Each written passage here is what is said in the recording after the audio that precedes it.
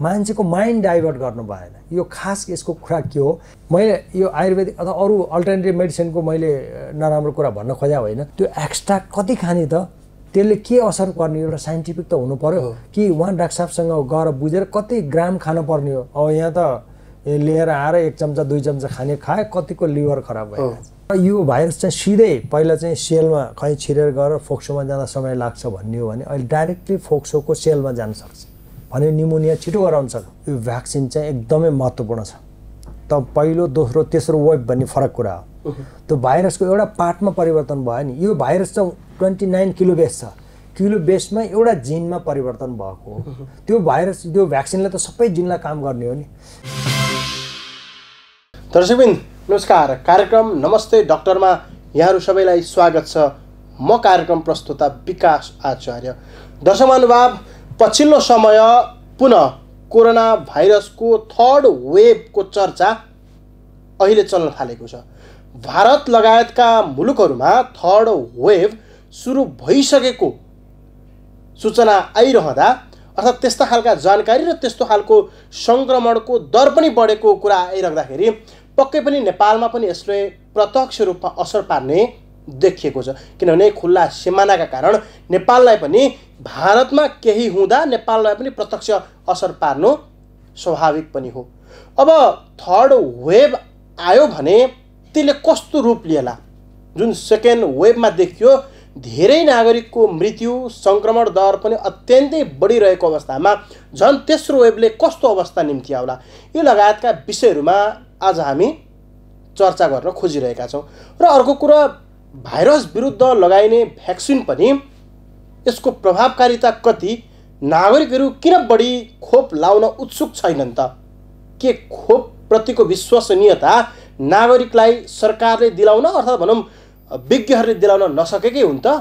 यी लगायतका विषयहरूमा पनि चर्चा गर्नको लागि हामीले स्टुडियोमा निम्त्याएका छौँ भाइरोलोजिस्ट डाक्टर वासुदेव पाण्डे। पाण्डे यस अगाडि सरुवा रोग नियन्त्रण टेकुमा निर्देशकको रूपमा काम गरिसक्नु भएको छ। उहाँसँगै आज हामी यी लगायतका विषयहरूको उत्तर खोज्छौँ। आउनुहोस् उहाँलाई कार्यक्रममा स्वागत गरौँ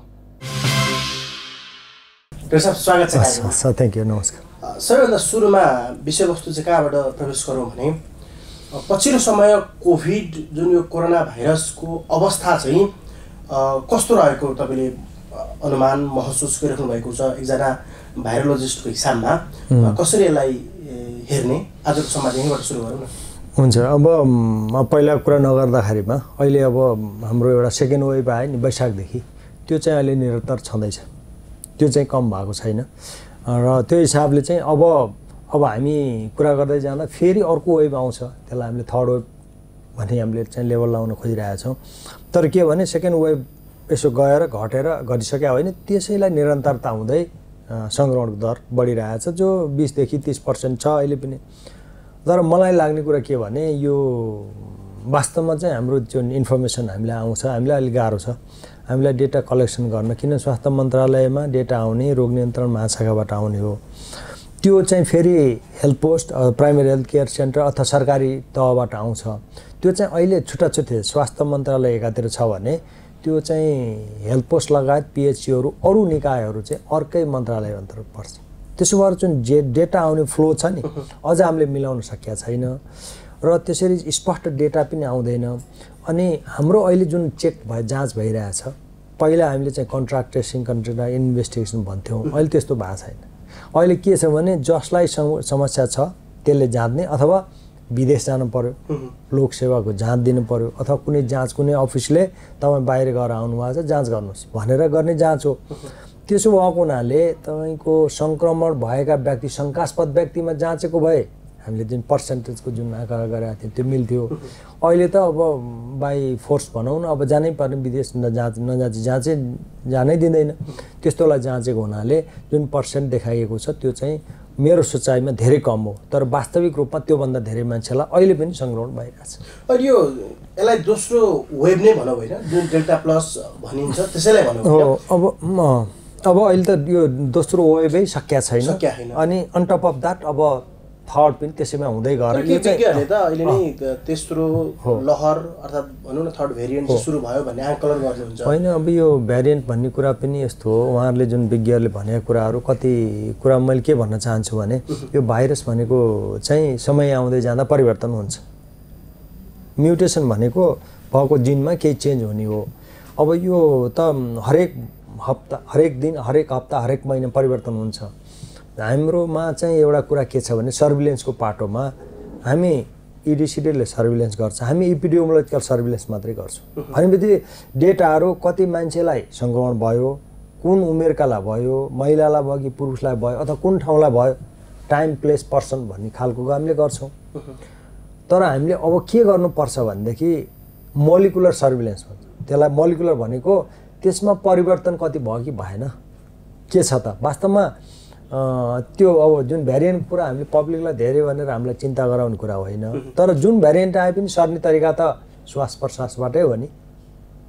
त्यसो भएको हुनाले यो मोलिकुलर सर्भिलेन्सको पाटोलाई बढाउनु पऱ्यो हामीले अब तिसवटा चालिसवटा पैँचालिसवटा स्याम्पलहरू महिना दुई महिनामा इन्डियामा पठाउने अथवा कुनै देशमा पठाउने। ल हामीलाई चाहिँ त्यही पुरानो दुई तिनवटा भ्यारिएन्ट रहेछन्। अब अरू छैन भनेर बस्ने बेला होइन। यो त रेगुलरली गर्नु पऱ्यो नि त। नियमित रूपमा हामीले परीक्षण गर्नु पऱ्यो इपिडियोमोलोजिकल सर्भिलेन्सका साथसाथै मोलिकुलर अथवा जिनमा कति खालको यहाँको शब्दमा भन्ने भने अब धेरैले बुझि पनि सके। म्युटेसन भन्ने शब्द बुझि पनि सके। म्युटेसन भनेको जिन अब यसको अब हामीले फेरि भाइरोलोजीले भन्यो भने अलिक कन्फ्युज होला अलिक लामो हुनसक्छ। यो जिनको अब हेर्दा भाइरस त डल्लो छ हेर्नुहोस्। त्यो डल्लोलाई हामीले तन्काएर हेर्न पनि सकिन्छ। जस्तै अहिले भ्याक्सिन बनाउने पनि विभिन्न तरिकाहरू छन् नि। त्यो भित्रमा सबभन्दा महत्त्वपूर्ण भनेको स्पाइक प्रोटिन हो। त्यसमा परिवर्तन हुन्छ। परिवर्तनमा चाहिँ कहिले भाइरस चाहिँ सिरियस हुन्छ कहिले चाहिँ अलि कमजोर हुँदै जान्छ। अब यो भाइरोलोजिकल पोइन्ट अफ भ्यूले भन्ने हो भने त समय आउँदै जाँदा भाइरस बिस्तारै किनभने हामीले शरीरको लड्न सक्ने क्षमता पनि बढ्दै जान्छ। हामीले कतिले त भ्याक्सिन पनि लगाइसक्यौँ। अब यो सबै हुँदाखेरिमा भाइरस कमजोर जा हुँदै जाने र समुदायमा बस्ने र अर्को एउटा नयाँ खालको हाम्रो हेल्थ म्यानेजमेन्ट इन्फर्मेसन छ एचएमआइएसमा एउटा नयाँ रोग त्यहाँ थपियो यो बसिरहेको छ त्यो हिसाबले हामी जानुपर्छ। त्यसो पछिल्लो समय तपाईँ आफैले पनि यो हेरिराख्नु भएको छ नजिकबाट निहालिराख्नु भएको छ। मृत्युदर चाहिँ अस्वाभाविक रूपमा बढेको हामी देख्छौँ होइन? निकै परिचित व्यक्तिहरूको पनि धमाधम निधन भइरहेको छ। गाउँ समाजमा हेर्ने हो भने त लगभग बुढाबुढी होइन जुन ज्येष्ठ नागरिकहरू हुनुहुन्थ्यो युवाहरू नै पनि हुनुहुन्थ्यो। अलिकति दीर्घ रोग हुनेहरू त लगभग अब त धेरै पो गाह्रो अवस्था निम्त्याएको छ। त्यो देख्नुहुन्छ नि है? त्यो हो, भएको हो नि है? एकदम। एकदम यो अब के छ भनेदेखि अब यो भाइरस चाहिँ यस्ता खालका भाइरसहरू पनि छन्। इन्फेक्सन त हुन्छ। तर हामीले सबैले बुझ्ने कुरा त यो जुन आउटकम हुन्छ जुन मृत्यु हुने अथवा गम्भीर हुने कारण चाहिँ हामीले दुई तिनवटा कुरामा भर पर्छ। एउटा चाहिँ होस्ट एजेन्ट इन्भाइरोमेन्ट भन्छौँ। त्यो एजेन्ट भनेको त भाइरस हो। त्यो भाइरस यहाँले भने जस्तै कति चेन्ज भयो भ्यारिएन्ट के हो त कति खालको कडा छ त? यसले कति सार्न सक्छ र कहिले यसले मृत्युदर अथवा लिदल इफेक्ट कति हो भन्ने कुरामा भर पर्ने भयो। अर्को होस्ट भनेको हामी आफै स्वयं हाम्रो रोगसँग लड्न सक्ने क्षमता कति छ त? हाम्रो खानापिनाको अवस्था कति छ? हामीले भ्याक्सिनेसन गरेन गरेनौँ। हाम्रो के छ त? यो होस्टको भित्र त्यो भाइरसको विरुद्धमा लड्न सक्ने क्षमता कति छ भन्ने कुरा हो। अनि वातावरण। वातावरण हामीले जतिसुकै भने पनि अहिले पब्लिकले त घुम्या घुमै छन् हेर्नुहोस्। अब हामीले रोक्नै सकेका छैन। अब हेर्दा लकडाउन स्मार्ट लकडाउन भन्छौँ हामीले। अब सङ्ख्यात्मक अब पर्सेन्टेजको हिसाबमा भने तिसभन्दा माथि छ अहिलेको सङ्क्रमण दर होइन? अम, तिस त कहिले बिस हुन्छ कहिले पच्चिस कहिले तिस हुन्छ तर अब त्यो धेरै नै छ। तर नागरिक हिसाबले यहाँको अघिल्लो प्रश्नको उत्तर गर्दाखेरिमा चाहिँ जसको रोगसँग लड्न सक्ने क्षमता कम छ अथवा त्यो भनौँ न होस्टको भनौँ त्यो। अनि भाइरस त अहिले डेल्टा प्लस त अलि त्यो त अलि सार्न सक्ने क्षमता पनि बढी हो। आक्रामक आक्रमक पनि बढी छ। त्यसमा अरू ठाउँमा अरू परिवर्तन भइदियो भनेदेखि त्यस बडो बढी सिरियस हुनसक्छ त्यो भएको होला। किनभने हाम्रो त्यो टेस्ट गरेको त्यो डेल्टा प्लस भनेको पनि त धेरै भइसक्यो। त्यो बिचमा चाहिँ अरू अन्तर्राष्ट्रिय रूपमा त जस्तै तपाईँ स्विजरल्यान्ड हेर्नु अथवा जापान अरू कुनै देशमा हेऱ्यो भने उनीहरूले डेली त्यो भाइरसको जेनेटिक एनालाइसिस गर्छ। त्यो जिनको सिक्वेन्स गर्ने भनेको एक दुई घन्टाको कुरा हो। स्याम्पल हामीले लिएकै छौँ। त्यसलाई एक्सट्राक्सन गर्ने जुन हामीले चाहिँ पिसिआर गर्छौँ त्यही गर्ने नै हो। त्यो पिसिआर गरेको वस्तुलाई जेनेटिक सिक्वेन्स गरेर हेर्ने। त्यो त गर्न सकिन्छ। कति परिवर्तन आयो कति परिवर्तन आयो भनेर हेर्ने। अनि परिवर्तन आइसकेपछि त्यो परिवर्तनले फेरि अरू एनिमल मोडेल अथवा अरू ठाउँमा हेरेर सेलमा अरू विभिन्न तरिका हुन्छ। यो भाइरस कति सार्न सक्ने हो यसको लिदल इफेक्ट कति हो? मार्न सक्ने असर कति यसरी हेर्नुपर्ने। त्यस्तो चाहिँ हामीले रिसर्च हामीले गर्न पटक्कै सकेका छैनौँ। तर हामीले अब रिसर्चको कुरा त हामीले जुन साइन्टिफिक रूपमा काम गरेका छौँ तर पब्लिकले बुझ्नुपर्ने कुरा के भने यो भाइरस त बस्छ। लामो समयसम्म ल- अलि अझ एक दुई दुई वर्ष त बस्छ बस्छ। डाक्टर साहब एउटा नागरिकहरूले नबुझेको एउटा विषय हुनसक्छ। उत्परिवर्तन भनौँ वा भनौँ म्युटेसन भनौँ त्यो हुँदै जा जाँदाखेरि भाइरसहरू बढी आक्रामक बन्दै जाने हो वा कदम कहिले काहीँ मात्रै त्यस्तो हुन्छ? सबै त्यस्ता हुँदैन। के के हुन्छ यसको? होइन साधारणतः त यो भाइरस चाहिँ यो म्युटेसन हुँदै जाँदा अब हामीले एउटा साइलेन्ट भन्छौँ। साइलेन्ट भनेको न्युक्लियोटाइड एउटा सानो चेन्ज हो नि सानो परिवर्तन त्यसले केही असर पार्दैन। ठुलो फ्रेम नै भनौँ न जस्तै एच फाइभ एन वान भन्ने बर्ड फ्लू छ। त्यो फ्रेम नै परिवर्तन भएर जस्तै पहिला स्वाइन फ्लू भन्यौँ हामीले त्यो चाहिँ आक्रामक भयो। यसमा पनि कहाँ खालको कति कुन बेला कहाँनिर परिवर्तन भएको छ? त्यसअनुसार फरक पर्ने तर खास भन्ने नै हो भनेदेखि भाइरस बिस्तारै समय आउँदै जाँदा धेरै कमजोर हुन्छ। विक हुँदै जाने कमजोर हुँदै जाने यसले सार्न चाहिँ सक्ने तर त्यसले यसले सिरियस गम्भीर खालको असर नपर्ने एजम्सन हो भाइरोलोजिकल पोइन्ट अफ भ्यू तर अहिलेको अवस्थामा चाहिँ त्यो चाहिँ देखिया छैन। डेल्टा प्लस आयो यो त अलि सङ्क्रमण भयो। तर मलाई के लाग्छ भने यो भाइरस बस्छ तर कमजोर हुँदै जान्छ इभेन्चुअल्ली र हामीले भ्याक्सिन चाहिँ लगाउनै पऱ्यो किनभने यो भ्याक्सिनले त जुन भाइरस भयो भने अहिले काम गरेको हामीलाई देखिन्छ नि इन्डाइरेक्ट एभिडेन्स हामीले रिसर्च गर्न सक्यो भने। र समय आउँदै जाँदा कमजोर भएर जान्छ र यो समय समाजमा बस्छ। वर्षको एकचोटि हामीले भ्याक्सिन लाउने। अनि आफ्नो कामहरू गर्ने। पहिला जस्तो खुला एकदम मास्कै नलाएर बाहिर ठुल्ठुलो पार्टीहरू गरेर रमाइलो गर्ने बेला अलिक पर्खिनै पर्ने हुन्छ। तर यो समय आउँदा जुन जुन सेकेन्ड वेभमा हामी त्यति धेरै मान्छेको मृत्युको देख्यौँ त्यो चाहिँ अबको अवस्थामा हामीले यसरी चाहिँ भ्याक्सिन अहिले अलिकति बढी हामीले coverage ten thirteen percent coverage भयो। अब चालिस पर्सेन्ट पचासलाई त एन्टिबडी बनिस्न सकै होला। साठी पर्सेन्ट त केही न केही खालको एन्टिबडी बोकेर बसेको छ नि त हाम्रो समाजमा। अब त्यसमा अरू दस पन्ध्र पर्सेन्ट हामीले भ्याक्सिन थप्न सक्यो भनेदेखि त हामी अलिक खालको सुरक्षित हुन सक्छौँ। अब होला पछि चाहिँ यो बुस्टर लाउने कुरा छ हामीले। अब भ्यारिएन्टकै लागि छुट्टै भ्या भ्याक्सिन बनाउनु पर्ने पनि छ। आदि कुराहरू होलान् तर अहिलेको अवस्थामा यहाँले भनेको प्रश्नको सिधा उत्तर गर्दै जाँदा भाइरस चाहिँ साधारणतया कमजोर हुँदै जानुपर्छ। अहिले के पनि देखियो भने जुन गाउँतिर दूरदराजतिर अहिले नै जुन निमोनिया होस् वा सामान्य रुगाखोकी लागिसकेपछि पनि अस्पताल नजाने। निमोनिया भइसकेपछि जाँदाखेरि कोभिड देखिने। र त्यसपछि चिकित्सकले पनि उनलाई बचाउन नसक्ने मृत्यु मृत्यु घोषणा गरिदिने। यो सिस्टम यो यो तरिकाको बढिरहेको छ होइन? तपाईँ एकजना भाइरोलोजिस्ट पनि भएको हिसाबमा के गर्नु पर्यो नागरिकले? अहिले त यति धेरै विकराल अवस्था आयो कि एउटा गाउँै चाहिँ रित्तिने अवस्था जस्तो अवस्था आइसक्यो प्रत्येक घरमा अहिले मृत्यु नभएको त घर खोज्न धेरै गाह्रो पर्ने अवस्था आइसक्यो। मैले भाइरोलोजिकल पोइन्ट धेरै भाइरसको कुराहरू गर्नुभन्दा मैले चाहिँ साधारण समाजमा मैले के भन्न चाहन्छु भने यो भाइरसले भाइरस आफैले ज्यान लिने होइन। त्यो कोरोना कोभिड नाइन्टिन भएर यो भाइरसले मार्ने होइन तर यसका कम्प्लिकेसनले हामीलाई मृत्यु हुने हो। त्यसो भएको हुनाले अब कसै कसैले के भन्छ डराएर यो भाइरस फेरि भइसक्यो भने मलाई घरमा बस्ने ठाउँ पनि छैन। के होला? होइन मलाई रुगाखोकी मात्रै लागेछ भनेर बस्दिने। र अलिक गाह्रै भइसकेपछि मात्रै जाने। त्यस्तो गर्ने कुराहरू आउँछ।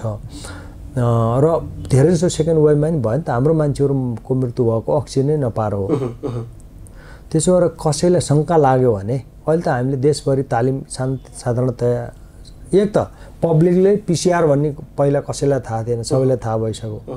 अनि त्यसपछि आएर अरू यो कुराहरू पनि धेरै थाहा भयो नि त। अक्सिजन दिनुपर्छ भन्ने कुरा। यहाँहरूलाई मैले गाउँको मान्छेहरूलाई हाम्रो साथी हाम्रो जुन दाजुभाइ दिदीबहिनीहरू हुनुहुन्छ यो रुवाखोकी यो कोभिड मात्रै होइन अर्को इन्फ्लुएन्जाको अरू भाइरस पनि त छ नि। त्यसले पनि निमोनिया गर्छ। यदि साधारण ज्वरो आयो भने त हामी सिटामोल खान सकियो झोल कुराहरू खान सकियो छुट्टिएर बस्नु पऱ्यो रुगाखोकी होस् अथवा कोभिड होस् घरमा किन अरूलाई सर्छ नि त? रुगाखोकी भयो नि सर्छ। र दुई तिन दिन बस्दा ज्वरो पनि घटेन अथवा आफूलाई केही गाह्रो भयो जस्तो महसुस भयो भने हाम्रो अहिले देशभरि चाहिँ हेल्थ पोस्ट त छन् हामीसँग त्यहाँको स्वास्थ्य कर्मीहरूबाट सल्लाह लिनु पऱ्यो अथवा अरू अस्पताल छन् काठमाडौँ भन्ने भने त प्राइभेट त सा साठी सत्तरी पर्सेन्ट त प्राइभेट अस्पतालले गर्ने हो। काठमाडौँमा बस्नुभएको। अहिले मैले काठ खास गरेर बाहिरभन्दा पनि काठमाडौँमा समस्या देखाएको छ। जुन बाहिरबाट आएर डेरा गरेर बस्ने उहाँहरूको बस्ने ठाउँ पनि छैन। अनि बाहिर त बरु हेल्थ पोस्टमा गए पैसा लाग्दैन।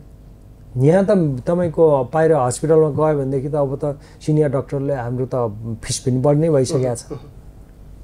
अनि फेरि हामीले टेस्ट गर्ने अब कुन गर्ने हो स्पेसिफिक नभए हामी कहिले काहीँ हनुमान हुन्छौँ। यहाँलाई थाहा छ नि सञ्जीवनी बुटी लिन जाँदा त्यो नचिनेपछि पुरै पाहाडै ल्याइदियो। यहाँ अब एउटा गर्न गएछ तपाईँको अहिले कोभिड हो भने कोभिडको एउटा एक्सरे गरौँ रगतको टेस्ट गरौँ अथवा खकार लिएर गरौँ। अरू धेरै कुराहरू अब कम्प्लिकेसन हेर्दै जाँदा त अब सिटी एमआरआई गर्नुपर्ने होला। सबै कुरा एकचोटि गराइदिनु परेन मान्छेहरूलाई धेरै भार बोकाइदिनु भएन। सहयोग त गर्नुभएको छ सरकारी प्राइभेट दुईतिर तर पनि के कुरा गर्नुपर्ने अलिक कन्सन्ट्रेट भएर गरिदिनु पऱ्यो अरू जो हाम्रो दाजुभाइ दिदीबहिनीहरू पनि सकेसम्म धेरै पर्खेर नबस्दिने लास्ट स्टेज भइसक्यो निमोनिया भइसक्यो अथवा आइसियुमा राख्यौँ भने भेन्टिलेटर राख्यो भने हामी फर्काएर ल्याउनु धेरै गाह्रो छ। किनभने यसले धेरै समस्याहरू पार्न सक्छ। त्यसले गर्दा यो निको भएर नेगेटिभ आइसकेपछि पछि यहाँ कोभिड पोस्ट कोभिड जुन हामी सिन्ड्रोम भन्ने हाम्रो मेडिकलमा भन्छौँ त्यसपछि आउने समस्याहरू ब्लड प्रेसर बढ्ने कसैलाई खास गरेर डायबिटिजको समस्या धेरै भएको छ। मानसिक तनाव त कति कति। व्यक्ति स्वयंलाई र आफ्नो परिवारलाई देशभरि सबैलाई तनाव छ। त्यसो भएको हुनाले दुई तिन दिन हेर्ने ज्वरोको अवस्था थ- थर्मोमिटर त सबैले हुन्छ त्यसले थर्मोमिटर राखेर हेर्ने। ज्वरो घट्दै गयो आफूलाई खानेकुरा ठिक छ अहिले आफ्नो स्वास्थ्यको स्थिति बिस्तारै राम्रै हुँदैछ भनेदेखि बस्नु पऱ्यो भएन भनेदेखि नजिकको स्वास्थ्य संस्थामा गएर सल्लाह सुझाव लिनु पऱ्यो अनि यो भ्रममा अहिले मलाई अलिकति यहाँलाई मैले अनुरोध यहाँको मिडिया मार्फत के भन्न चाहन्छु भने कसै कसैले बिचमा जस्तै स्टोराइड खानुहोस् अक्सिजन बढाइदिन्छ अथवा के खानुहोस् भने लेखिदिने। स्टोराइड हो कहिलेकाहीँ लाइफ सेभिङ ड्रग हो। तर कति बेला दिने त्यो त डाक्टरले त्यति पढिसकेपछि उसले दिने हो नि। त्यो सबैले त्यस्तो दिन सकिँदैन त्यो खानु पनि हुँदैन। त्यसो भएको हुनाले नबुझेको कुरा जतासुकैबाट आयो भने कहिलेकाहीँ फेक न्युजहरू पनि हुनसक्छन्। यहाँहरूले मिडियाले सहयोग गर्नुभएको छ ठिक कुरा हो। तर कुन चाहिँ सक्कली कुनै कुन चाहिँ नक्कली कुन चाहिँ रियल न्युज कुन चाहिँ राम्रो होइन भन्ने कुरा चाहिँ बुझेर गर्नु पऱ्यो र अथेन्टिक माध्यमबाट आएको समाचारलाई अथवा त्यो जुन प्रक्रिया हुन्छ नि कोभिडको विरुद्ध बच्ने उपायहरू छन् त्यसलाई लिनु पऱ्यो र नहुने कुराहरू कसै कसैले यो रोगै होइन। किन मास्क लाउनु पऱ्यो यो त कसले निकालेको यो देशले व्यापार गर्न निकालेको हो भनिदिन्छन्। कसैले अब भनौँ न हाम्रो अमेरिकन राष्ट्रपतिले लाउनै हुँदैन मास्क लाउनु पर्दै पर्दैन भन्नुभयो भनिदिनु भयो हाम्रो यहाँ कतिले तपाईँ बेसार पानी खानुहोस् अथवा के के खानुहोस् भन्। बेसार पानी ठिक होला तातो पानी खाने ठिक होला तर यसको स्पेसिफिक औषधि होइन मान्छेको माइन्ड डाइभर्ट गर्नु भएन। यो खास यसको कुरा के हो? अनि मैले अरू अनुरोध के गर्न चाहन्छन् सबैलाई? आफूले जानेको आफ्नो विषय जस्तै म कार्डियोलोजिस्ट होला म कार्डियोलोजीको कुरा गर्नु पर्यो हुन त डक्टरलाई थाहा त हुन्छ अथवा अरू व्यज्ञ विज्ञहरूलाई थाहा पनि हुनसक्छ तर नजानेको कुरा धेरै चाहिँ भनिदिनु भएन। त्यसो गरिदियो भने मान्छेलाई अप्ठ्यारो पर्छ ल। अब पपुलर मान्छे छ उसले साँच्चै भन्यो होला भनेर विश्वास विश्वास गर्न- गर्नुपर्ने हुनसक्छ। अब हुन्छ आयुर्वेदिक औषधिहरू छन् जस्तै गुर्जोको खाने भन्ने यस्तो यस्तोहरू छ। गुर्जोको ठिक छ।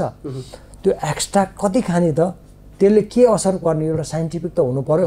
कि उहाँ डाक्टर साहबसँग गएर बुझेर कति ग्राम खानु पर्ने हो। अब यहाँ त लिएर आएर एक चम्चा दुई चम्चा खाने खाए कतिको लिभर खराब भयो मैले यो आयुर्वेदिक अथवा अरू अल्टरनेटिभ मेडिसिनको मैले नराम्रो कुरा भन्न खोजा होइन। तर कति खाने त साइन्टिफिकली त्यो एप्रुभ भएको हो कि होइन त? वैज्ञानिक आधार छ कि छैन? भन्ने हेर्नुपर्छ। भन्ने चाहिँ मेरो डाक्टर साहब अहिले जुन भारतमा पनि हामीलाई अत्यन्तै बढी असर गर्ने अथवा भनौँ केही भयो भने प्रत्यक्ष रूपमा प्रभाव पार्ने भारत पनि हो होइन? अगस्त पछि चाहिँ तेस्रो वेबको आकलन अथवा चर्चा भारतमा हुन थालेको छ त्यो हुँदा नेपालमा पनि देखिन सक्ने स्वाभाविक पनि हो। खुल्ला सिमाना छ होइन? भारतमा यदि तेस्रो वेब आयो भने नेपाललाई कस्तो असर पार्ला? के देख्नुहुन्छ कसरी हेर्ने? होइन यो भारत र नेपाललाई त छुट्याउनै सकिँदैन। कहीँ पनि सकिँदैन। अब म बाहिर गयो भने मलाई इन्डिया नै भन्छ। किनभने नेपाली भने धेरै त चिन्दै चिन्दैन। किनभने हाम्रो खाने लाउने बानी बेहोरा हरेक कुरा एउटै छ। बोर्डरमा त तपाईँ छुट्याउनै अब आउने जाने रोकिँदै रोकिँदै त्यसो भएर इन्डियामा हुने हरेक कुराले हामीलाई असर पार्छ। थर्ड वेभ त सुरु नै भइसक्यो। तपाईँले अरू विज्ञहरूले पनि भनिसक्नुभयो नेपालमा सुरु नै भइसक्यो। अहिले त इन्डियाबाट भन्दा नेपालबाट इन्डियामा जाने समस्या छ। किनभने इन्डियाको इन्फेक्सन रेट कम छ नेपालको इन्फेक्सन रेट धेरै छ। त्यसो भएको हुनाले इन्डियामा हुने हरेक कुरा नेपालमा हुन्छ। यो वेभ यो बढ्छ किनभने हामी चाडपर्व बढेका छन्। दसैँ तिहार आइहाल्यो। अब हाम्रो त्यो राजनीतिक अस्तव्यस्तता छ। कहिलेकाहीँ जुलुसहरू पनि भइदिन्छन्।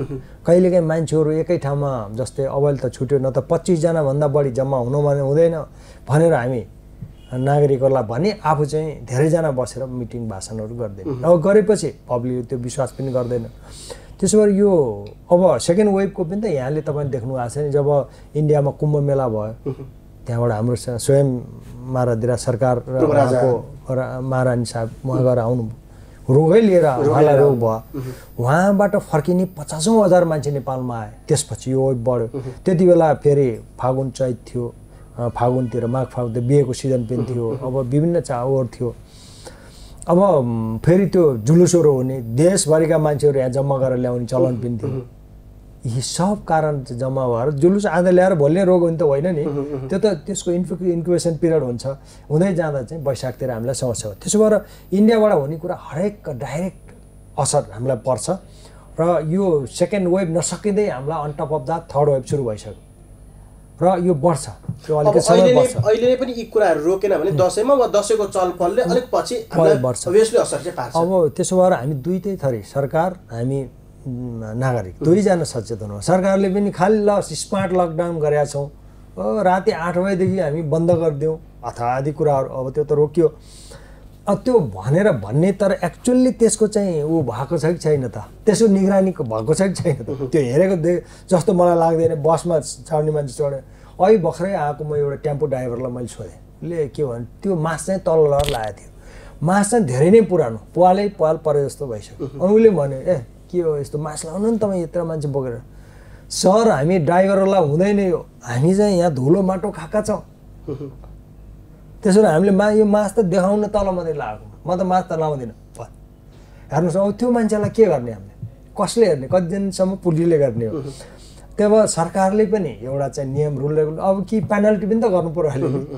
तपाईँ मास यहाँ चिउडन लाउनेलाई पचास रुपियाँ माथि लाउनेलाई अलिक ऊ दिने हो कि? त्यो पनि गर्नु पऱ्यो अब पब्लिकले पनि त्यस्तो रूपमा हेर्दैन भयो भने जब आफैलाई भएर आफ्नै हेर्नु न म हामीले देख्दाखेरि यहाँले भन्नुभयो एकदम कति राम्रा व्यक्तिहरू हामीले गुमाउनु पर्यो। हामीलाई कति चिन्ता छ हामीलाई देशको लागि गर्न सक्ने कर्णधारहरू धेरै मान्छेहरू जुनसुकै एजको पनि हो सिनियर सिटिजनको त धेरै हामी गुमायौँ। तर यङ मान्छेहरू पनि हामीले गुमाएको छ। अब हो अब अहिलेको नयाँ डेल्टा प्लस भाइरसले के पनि भनेको छ भने यसको सार्न सक्ने क्षमता पनि सत्तरी पर्सेन्ट बढी। अब बच्चाहरूमा बच्चाहरूमा पहिला एसी इनिभिटर भन्ने थियो एउटा। त्यो इनिभिटर नभएको हुनाले हुँदैन भन्ने थियो। त्यो अर्कै ढोका पत्ता लगाएर भाइरस छिर्ने भइसक्यो। बच्चामा पनि केस बढ्ने। र यो भाइरस चाहिँ सिधै पहिला चाहिँ सेलमा कहीँ छिरेर गएर फोक्सोमा जाँदा समय लाग्छ भन्ने हो भने अहिले डाइरेक्टली फोक्सोको सेलमा जान सक्छ। भने निमोनिया छिटो गराउन सक्छ। भएको हुनाले यो भाइरस चाहिँ थर्ड वेभको एउटा उत्प्रेरण अथवा ट्रिगर गर्ने एउटा माध्यम हो। भन्ने चाहिँ साइन्टिफिक रूपमा पनि प्रुभ भएको कुरा छ। अब अर्को भाइरस पनि अब मैले त भनिसकेँ यो सिम्पल भएर जाला भनेर। तर अब यो त नयाँ भाइरस हो। म पनि त्यो अध्ययन त नेपालको अध्ययन त भन्यो नि त्यो लाइनमा बस्दा सर्ने नसर्ने। अथवा कुन उमेरका मान्छेले धेरै भ्याक्सिन लाए तराईका लाए कि पाहाडका लाए कि कहाँका लाए यस्तो खालका सिम्पल खालका रिसर्च हामीले गरेका छौँ। अलि यसबाट चाहिँ कति खालको न्युट्रलाइजिङ एन्टिबडी शरीरले बनायो कि बनाएन? भित्र साइटोकाइन भन्ने वस्तु रियाक्सन गर्ने छ कि छैन? यो भाइरस चाहिँ कति दिनमा चेन्ज हुँदो रहेछ? त्यसले के छ? यस्तो खालको अलिकति इनडेप्थ रिसर्च त हामीले गर्नै सकेका छैनौँ नि। त्यो सब हिसाबले गर्दा पनि हामीले चाहिँ एकदमै सिरियस त दुइटै थरी सरकार हामी नागरिक दुइटै हुनुपर्छ। नत्र भनेदेखि त यो भाइरसले त हामीलाई समस्या पार्छ। सरकारले यो सहीको सरकारले पनि अहिलेको सरकारले पनि खोपलाई निकै प्राथमिकताका साथ राखेको छ। सम्भवतः किनेरै भए पनि वा अनुदानमा भए पनि खोप ल्याएर लगाउनको लागि जुन दुवै सरकारले पहल गरिरहेको छ त्यो निकै राम्रो सराहनीय काम। पनि मान्नु पर्ला होइन। तथापि भ्याक्सिनप्रति अहिले चाहिँ नागरिकहरू अलिकति बढी आकर्षित भए यो बढी मृत्यु पनि भएर होला सायद बढी सङ्क्रमित पनि भएर होला बढी जटिलता बनाएर पनि होला सायद। अहिले छ। तथापि अहिले पनि दूरदराजमा नागरिकहरू खोप लाउने कुरामा सशङ्कित भइराख्नु भएको छ। विभिन्न कुराहरू अहिले भ्रम फिजाइएको छ। भ्याक्सिन कति आवश्यक किन लाउने योभन्दा अगाडि अर्को एउटा प्रश्न पनि के छ भने यो त पहिलो वेबको लागि नै भ्याक्सिन बनाएको थियो। अहिले त यो दोस्रो तेस्रो आइपुग्यो। किन भ्याक्सिन लाउने भन्ने खालको पनि एक प्रकारको कुराहरू छ। यसलाई सबै यो अवस्थालाई चाहिँ हटाइदिनको लागि होइन मैले यहाँलाई प्रष्ट रूपमा के भने भने यो भ्याक्सिन चाहिँ एकदमै महत्त्वपूर्ण छ। त पहिलो दोस्रो तेस्रो वेब भन्ने फरक कुरा हो। त्यो भाइरसको एउटा पार्टमा परिवर्तन भयो नि। यो भाइरस चाहिँ ट्वेन्टी नाइन किलो बेस छ। किलो बेसमा एउटा जिनमा परिवर्तन भएको हो। त्यो भाइरस त्यो भ्याक्सिनले त सबै जिनलाई काम गर्ने हो नि। त्यसो भएको हुनाले अहिलेसम्म देखिएको कुरा के भने भ्याक्सिनले जुनसुकै यहाँले फेरि कसैले जोन्सन जोन्सन कुरा कहिले भेरोसेल कसैले के यो साइन्टिफिक रूपमा clinical trial one two three सबै पास गरेर यसले इफेक्टिभ छ। अब कसैको इफेक्टिभनेस फरक छ? कसैको नाइन्टी पर्सेन्ट कसै सेभेन्टी पर्सेन्ट यस्तो त छ। तर पनि सबै भ्याक्सिनहरू इफेक्टिभ छन्। यो राम्रो फाइदा गर्छ। भ्याक्सिन लाउनुपर्छ जहाँ जति बेला पाउनुहुन्छ भ्याक्सिन लाउने हो। त्यसमा अर्को अन्यथा सोध्दै सोच्नु हुँदैन। यसले फाइदाहरू गर्छ यसले फेफाइ बेफाइदा गर्ने भन्ने प्रश्नै आउँदैन। त्यसमा शङ्का गर्नुपर्ने। अब मलाई नि भन्यो तपाईँले भने जस्तै विभिन्न मान्छेहरू विभिन्न प्रश्नहरू सोधे।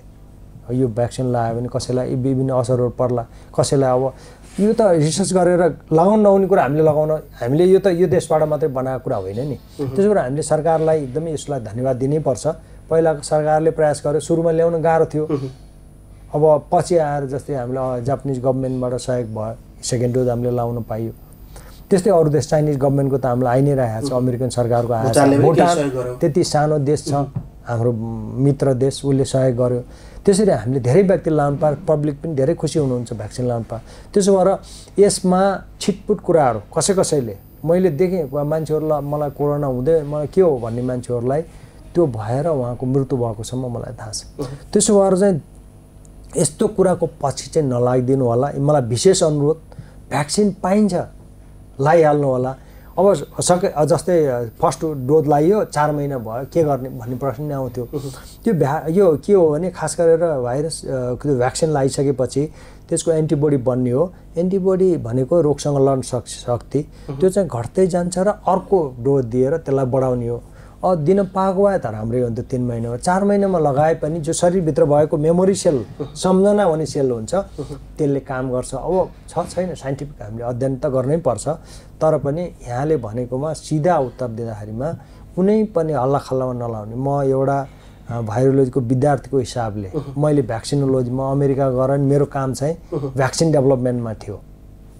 म अरू देशमा बसेर काम गरेँ र अहिले जुन भ्याक्सिनहरू आइरहेका छन् यो चाहिँ डब्लुएचओ लगायत अरू अन्तर्राष्ट्रिय सङ्घ संस्थाहरूले एप्रुभ गरेको नेपाल सरकारले पनि यसलाई मान्यता दिएको भ्याक्सिन भएको हुनाले कसैले पनि बिना हिचकिचाहट पाएपछि लाउनुपर्छ तर लाउने भन्दा कसैले घर लगेर त्यो टेम्परेचरको मेन्टेन नगरेर कसैले एउटा भ्याक्सिन लगाएपछि अर्को राम्रो भन्ने अर्को चेन्ज गरेर त्यस्तो गर्ने होइन। त्यो क्रस भ्याक्सिनेसन राम्रो हुँदैन। भेरोसेल लगायो भेरोसेलै लाउनु पर्यो। त्यो कोल्ड चेन मेन्टेन गरेको र त्यो नियमित अर्को भ्याक्सिन ठ्याक्कै लाउने भने काम गर्छ। दुवै भ्याक्सिन लगाएका नागरिकहरू पनि त्यस्ता नागरिक पनि मृत्यु भएको छ। यो एउटा चुनौती होइन भ्याक्सिनको लागि अर्थात् यो साइन्सको लागि यो? साइन्सको ए यस्तो छ। त्यसमा के कारणले उहाँको मृत्यु भएको त्यो त हेर्न पर्ने छ। जसलाई मृत्यु भयो त्यो त एकदम दुःखद कुरा हो। तर मलाई के लाग्छ भने भ्याक्सिन लगाएका व्यक्तिहरू हामीसँग डाइरेक्ट एभिडेन्स छैन। हामीले रिसर्च त गर्न सकेका छैनौँ तपाईँलाई भने मैले। यसमा के देखिन्छ भने अब जुन सानोतिनो रिसर्च जस्तै टिचिङ हस्पिटल एउटा सानो रिसर्च भयो भ्याक्सिन लगाएको मान्छे सके त अस्पतालले आएन। आए पनि सिरियस आइसियुमा बस्ने हुँदै भएन। मृत्यु भएका व्यक्ति अर्को रोग थियो उहाँलाई। अर्को रोगसँग जोडिएर गर्दाखेरिमा मृत्यु भएको। भ्याक्सिन लगाएका व्यक्ति इट्सेल्फ भ्याक्सिन लगाएको का कोरोनाको कारणले मात्रै मरेको भन्ने चाहिँ मलाई जानकारी छैन। त्यसो भएको हुनाले एक दुईवटा कुराहरूलाई अबाध बनाएर भ्याक्सिन चाहिँ नलगाउनु भन्ने कुरा चाहिँ यदि त्यो राम्रो कुरा होइन। भ्याक्सिन लाउनै पर्छ यसले हामीलाई जोगाउँछ। तर अब फेरि कुराहरू आउला। यो इन्टरनेसनल जस्तै डब्लुएचओको छ स्टेरिङ कमिटी छ। अब हाम्रो धेरै कुराहरू यसमा छलफल भइरहेछ। म पनि त्यसमा कमिटीमा छु। र कमिटीमा के कुरा हुन्छ भने जस्तै भ्यारिएन्ट आयो। अब यही भ्याक्सिनले काम गर्छ गर्दैन? अर्को भ्याक्सिन लाउनु पर्छ कि त? अथवा यो भ्याक्सिन लाएर छ महिनापछि त्यसको शक्ति घटेर जाने हो कि? बुस्टर डोज दिनुपर्ने हो कि? भन्ने आदि प्रश्नहरू छन्। अब साइन्सलाई त च्यालेन्ज छ। साइन्स भनेको it's is very interesting it's a challenging च्यालेन्जै नभयो भनेदेखि त त्यो त रिसर्च गर्नुपर्ने आवश्यकतै भएन नि। अहिले पछिल्लो समय सरकारकै। पनि काम गराइ अलिकति समीक्षा गरौँ न जस्तै कि स्वास्थ्य मन्त्री अहिले हुनुपर्ने थियो होइन। शिक्षा मन्त्री हुनुपर्ने थियो। अहिले बालबालिकाको शिक्षा डामाडोल भएको छ होइन। स्वास्थ्यकै कुरा गर्ने भने स्वास्थ्य चाहिँ हामी निकै पछाडि धकेलिसक्यौँ स्वास्थ्य। यो सङ्कटले गर्दाखेरि होइन। गभर्मेन्टको अहिलेको यो जुन नयाँ सरकार बन्यो देवा नेतृत्वको यसलाई समीक्षा गरौँ र स्वास्थ्य मन्त्री मन्त्रालय नै रिक्त रहेको अवस्थामा। के आमूल फड्को मार्न सकिएला के लाग्छ तपाईँलाई? पहिलो कुरा त अब अब नयाँ मन्त्रीजी आउनु भएको छ राज्य मन्त्री अब मन्त्रीजी नभएपछि रा मन्त्री बराबरै उहाँ काम गर्ने हो। अब उहाँ चाहिँ यो शिक्षाको क्षेत्रमा प्राइभेट सेक्टरमा सफल धेरै स्कुलहरू खोल्ने बिजनेस राम्रो भएको व्यक्ति हो भन्ने चाहिँ मलाई लाग्छ। अब म पोलिटिक्समा के कसो को राम्रो नराम्रो भन्न चाहन्न तर मैले देखेको यो चाहिँ अलि नेग्लेक्टेड नै भयो। स्वास्थ्य मन्त्रालय शिक्षा मन्त्रालय। किन नेग्लेक्टेड जस्तै म त्यहाँ गरेँ नि त काम गर्दा। इडिसिडीमा काम गरेँ त्यहाँभन्दा पहिले। मैले गर्दा त्यहाँदेखि अहिलेसम्म चाहिँ जम चार पाँचवटा मन्त्री फेरि छ। यो पो अन्टिल अनलेस जहिलेसम्म पोलिटिकल कमिटमेन्ट हुँदैन त हामी टेक्निकल मान्छेले गर्दै गर्दैन। अब मैले हेरिरहेको छु हाम्रो डाक्टरहरूको एकदमै हामी विशिष्ट डाक्टरहरू छन् सिनियर डाक्टरहरू। हामीले एउटा कार्यक्रम भयो भने मन्त्रीलाई ल्याएर उद्घाटन गर्नुपर्छ। कि चाहिँ पोलिटिकल कोही ल्याउनु पर्ने हाम्रै सिनियर डाक्टरले किन उद्घाटन नगर्ने? यो भनाइको मतलब के हो भने उहाँहरूको छत्रछाया चाहियो उहाँहरूको कमिटमेन्ट चाहियो तर त्यो मैले देखिरहेको छैन। यो त उहाँ देखेको भए त उहाँले तुरुन्तै गर्नु पर्थ्यो सबै कुरा छोडेर उहाँहरूले पोलिटिक्स गर्ने हो भने पोलिटिक्स गर्नलाई त जनता चाहियो नि त मान्छे चाहियो नि। अब दिनका यतिका मान्छेको मृत्यु भएको छ सङ्क्रमणभरि फै फैलिरहेछ। भनेदेखि त अब तपाईँलाई कसरी मान्छेहरूलाई झुक्काउन सकिन्छ र सधैँभरि? एक दिन you can lie for one day one month or some days you can't lie सधैँभरि मान्छेले विश्वास गर्छन् भन्नु सकेन। त्यसो भएर पोलिटिकल कमिटमेन्ट त एकदमै जिरो देखेँ मैले। कमिटमेन्ट हुँदै भएन। त्यसो यदि कमिटमेन्ट हुन्थ्यो भने जहिले म- असारको उन्तिस गते भएको मन्त्री तिस गते स्वास्थ्य मन्त्री शिक्षा मन्त्री बनाइदिनु पर्थ्यो। जोसुकै होस् हामीलाई यो पार्टी ऊ पार्टी भन्ने कुरा भएन। त्यसो भएर उहाँलाई फुल फ्लाइजेड अथोरिटी दिनु पर्यो धेरै चाहिँ उहाँलाई काममा बाधा गरिदिनु भएन। र उहाँले पनि यो मान्छेहरू त्यहाँ भएका राम्रा मान्छे अब मान्छे ल्या आयो एउटा पार्टी आयो अर्कै आफ्नै मान्छे खोजेर ल्याउने अर्को पार्टी कामै गर्नु दिँदैन। त्यहाँ म हामी देखेँ स्वास्थ्य सेवा विभागमा एक महिना उता बाहिर गयो फेरि दुई महिनामा स्वर्ग भइहाल्यो। भनेपछि अर्को मान्छेले आएर बुझ्नु पनि त समय लाग्छ नि त। यो बेलामा एक्चुअल्ली यो काममा कन्फि कम्पिटेन्ट छैन सक्षम छैन। यो त्यो व्यक्तिको लागि ठिक होइन भनेदेखि त्यस्तो चेन्ज फेन्ज गर्नु पर्थ्यो होला। होइन भनेदेखि त काम भए काम राम्रो गर्ने मान्छेहरू हो भनेदेखि त्यो मान्छेलाई दिनु पऱ्यो कि यो यो त वार हो नि। जीवन रक्षाको वार हो। त्यसो भएको हुनाले यहाँ मैले चाहिँ यो सरकार जुन अहिले भ्याक्सिनहरू ल्याइराख्नु भएको छ त्यसको लागि त मैले विशेष धन्यवाद दिएँ। धेरै व्यक्तिले लाउनु भएको छ। फर्स्ट डोज लाएर पर्खेर बसिरहनु भएको थियो। ती सबले लाउनु भयो तर योभन्दा बढी अझ माथि उठेर पोलिटिकल्ली अझ कमिटमेन्ट गरिदिनु पर्यो र हामीले अर्को पनि मैले यहाँ अनुरोधमा अरू ठाउँमा पनि मैले धेरैचोटि भनिसकेँ अब हामी जस्तो साइन्टिफिक काम गर्दा हामीले साइन्सलाई के दियौँ त भन्ने कुरा चाहिँ जहिले पनि काउन्ट हुन्छ। हामीले जस्तै मैले पिएचडी गर्ने बेला प्र प्रोफेसरलाई लास्ट क्वेसन सोध्छ। What is your contribution for science साइन्सलाई तपाईँले के दिनुभयो त? तपाईँ यो पढेर के दिनुभयो? भनेर उहाँले सोध्नुहुन्छ। त्यसो भएको हुनाले यो देशमा यो यो जुन हामीलाई एउटा अपर्च्युनिटी पनि छ नि त यतिवटा ल्याब भयो सयवटा ल्याब बनिसके। नेपालमै पिसिआर भन्ने त सबै मान्छेले थाहा पाइसके। त्यस्तो बेलामा यो नेपालमै यो भ्याक्सिन डेभलपमेन्टको प्रोसेस सुरु गर्नु पऱ्यो एज अर्ली एज पोसिबल र सधैँभरि मागेर कहिलेसम्म हामीले गर्ने त्यही पैसाले यत्र खर्च गरिरहेछौँ एक दुई अरब अहिले सुरु गरेर एउटा सेटलमेन्ट गरिदियो भने जस्तै हामीले एनिमल सेक्टरमा भ्याक्सिन बनाएर लागेकै छौँ। टिस्यु कल्चर भेरोसेल भ्याक्सिन छँदैछ हाम्रो नेपालमा। अब भेरोसेल चाइनिजको भ्याक्सिन हामीले ल्याएको छौँ वुमेन को कोरोनाको लागि। कोरोनाको भ्याक्सिन त नेपालमा को डगलाई यो दिएकै छ अहिले अहिले पनि।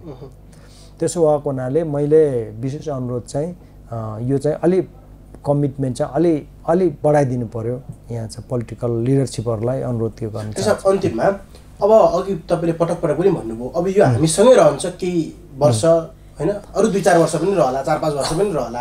अर्थात् यस अघिका भाइरसहरू जस्तै आजीवन पनि रहला कसरी म्यानेज गर्ने भन्ने कुरा रहला। के रहन्छ? अब नागरिकले गर्नुपर्ने काम कर्तव्य अधिकार अघि कति त खुले होइन। भाइरस त अब हामीसँगै नै रहने भयो। त्यही देखियो अवस्था। योसँग लिभिङ विथ टुगेदर कसरी गर्ने? के गर्ने? र अहिलेको यो जुन भिडभाड पनि छ पोलिटिकल।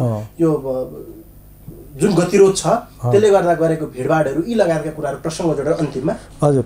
मैले प्रसङ्ग जोड सबभन्दा महत्त्वपूर्ण कुरा त यहाँले के भन्नुभयो भने त्यो भाइरस चाहिँ यो केही समयलाई रहन्छ। यदि वर्ष भन्ने कुरा त्यो भाइरसको क्यारेक्टर किनभने यो भाइरस धेरै कुरामा फरक पर्छ। जस्तै वातावरणको कुरा जस्तै भनौँ न अहिले मेलम्चीमा त्यस्तो बाढी आयो बाढी त अर्कै आउनु पर्थ्यो नि त्यो त माटो बढेको बगेर आइरहेछ। त्यसो गरी यो क्लाइमेट अथवा अरू कुराहरूमा वातावरणमा पनि फरक पर्छ। र यो भाइरस चाहिँ एक दुई वर्ष अझ रहन्छ र यहाँले भने जस्तै सधैँभरि हाम्रो चाहिँ हाम्रो हेल्थ म्यानेजमेन्ट इन्फर्मेसन सिस्टममा नयाँ एउटा थपियो कोभिड नाइन्टिन भन्ने चाहिँ सेक्टर हुन्छ त्यसमा हामीले रिपोर्टिङ गर्नुपर्ने हुन्छ। त्यो चाहिँ हुन्छ नै। त्यसो भएको हुनाले हामीले सबभन्दा पहिलो कुरा त हामीले रेगुलरली भ्याक्सिन लगाउनु पर्छ अहिले हामीले लगायौँ अब वर्ष भएपछि फेरि लगाउनु पर्छ होला। र सर्व सर्वसाधारणलाई मैले विशेष अनुरोध के गर्छु भने यो भाइरस त रहन्छ नै। हामीले काम पनि गर्नु पऱ्यो हामी भोकै बस्न पनि सक्दैनौँ। त्यसो भएको हुनाले त्यहाँ नयाँ कुरा केही पनि छैन। गर्नुपर्ने त सकेसम्म हामी भिडभाडमा जानु भएन। ज यहाँले भन्नुभयो सिनियर सिटिजन हाम्रो उमेर पुगेका हुनुहुन्छ। उहाँहरूलाई अँ, छुट्टाएर राख्नु पऱ्यो उहाँहरूलाई विशेष ध्यान दिनु पऱ्यो र जसलाई अरू रोगहरू छ डायबिटिज हाइपरटेन्सन लगायतका अरू रोगहरू छ त्यस्ता व्यक्तिहरूको धेरै मृत्यु भएको छ। उहाँहरूलाई विशेष निगरानी यसदेखि बाहेकका अरू भ्याक्सिन पनि लाउनु पऱ्यो जस्तै इन्फ्लुएन्जाको भ्याक्सिन लाउनु पर्ला रेगुलरली वर्षको एकचोटि। अनि निमोकोकल भ्याक्सिन हुन्छ त्यो लाउनु पऱ्यो र अरू चाहिँ सरसफाइमा। यसले अपर्च्युनिटी जस्तै हामीले सरसफाइ गरेर त्यो टेकुमा मैले एउटा अहिले रिसर्च चला गरिरहेको छु। रोटा भाइरस तथा कलेराको बिरामी छ। डाइरियाको बिरामी छैन पहिला हामी फ्लो फ्लोरमा राख्थ्यौँ। त्यसो भएर सरसफाइ हात धुने अनि डिस सकेसम्म चाहिँ भिडभाड नगर्ने अनि भ्याक्सिनेसन पाएपछि लगाउने र मास्क चाहिँ एकदम महत्त्वपूर्ण छ। अब हामी त मास्क त्यसै पनि लाउनु धुलै धुलोको ठाउँ छ। मास्क लाउँदाखेरिमा अलि ध्यान दिएर अलि मिलाएर ठ्याक्क नाकमा मिल्ने गरेर चिउँडोमा अथवा कहीँ लाउने होइन एउटा फेसन जस्तो गर्नु भएन। त्यो लगाइदियो भने यही नै कुराहरूलाई बेसिक कुराहरू चाहिँ प्राथमिक कुराहरू हामीले गऱ्यौँ भने हामी यो भाइरससँग सँगै मिलेर हामी जान सक्छौँ। अब मान्छे त अब रोग हुन्छ निमोनिया हुन्छ त्यो। अनि सरकारको तर्फबाट यो अस्पतालहरूलाई विशेष लजिस्टिक सपोर्ट हुनु पऱ्यो जस्तै भन म शुक्रा ट्रपिकल हस्पिटलमा बस्थेँ अब त्यो अस्पताल चाहिँ धेरै पहिलादेखि हामीले जतासुकै चेन्ज फेन्ज टाले पनि त्यहाँ भित्र गयो भने त्यो हस्पिटल त सर्वरोग अस्पतालको खालको छैन। अब हामीले कहिलेदेखि मैले चाहिँ यो भनेको छु कि त्यो पहिला पनि तिन सय बेडको त यो कोरोना आउनुभन्दा पहिल्यै मैले पालन गरेको थिएँ। खोइ हामीले चाइनिजले एकै हप्तामा एक हजार बेड बनाउँछ। त्यसो भएर त्यस्ता हस्पिटल सर्वरोग अस्पताललाई छिटै बनाएर त्यो व्यवस्थित गर्नु पर्यो। र अरू अस्पतालहरू पनि किनभने यो त भाइरस त यो सर्वरोग अस्पतालमा त जाने होइन अरू अस्पतालमा जाने भएको हुनाले त्यहाँ चाहिँ अक्सिजनको सप्लाई कसरी हुन्छ पेसेन्ट बिरामी जाँदा चाहिँ म यहाँ सुरक्षित छु भन्ने भावना चाहिँ बिरामीलाई आउने गरेर सरकारले र पब्लिकले पनि केही लगानी गर्नुपर्छ भने लगाउनु गर्नु पऱ्यो र अन्तिममा हामीले भ्याक्सिन चाहिँ यही देशमा उत्पादन हुने गरेर हामीले काम गर्नुपर्छ। अ, हामी दुवैजना पनि डबल डोज भ्याक्सिनेटेड नै हो, र। हामीले दूरी पनि कायम गरेका छौँ त्यही भएर आज हामीले मास्क नलाइकन कुरा गऱ्यौँ। व्यस्त समय दिनुभयो। स्टुडियोसम्म आइदिनु भयो धेरै खुसी लाग्यो। धन्यवाद। नमस्कार।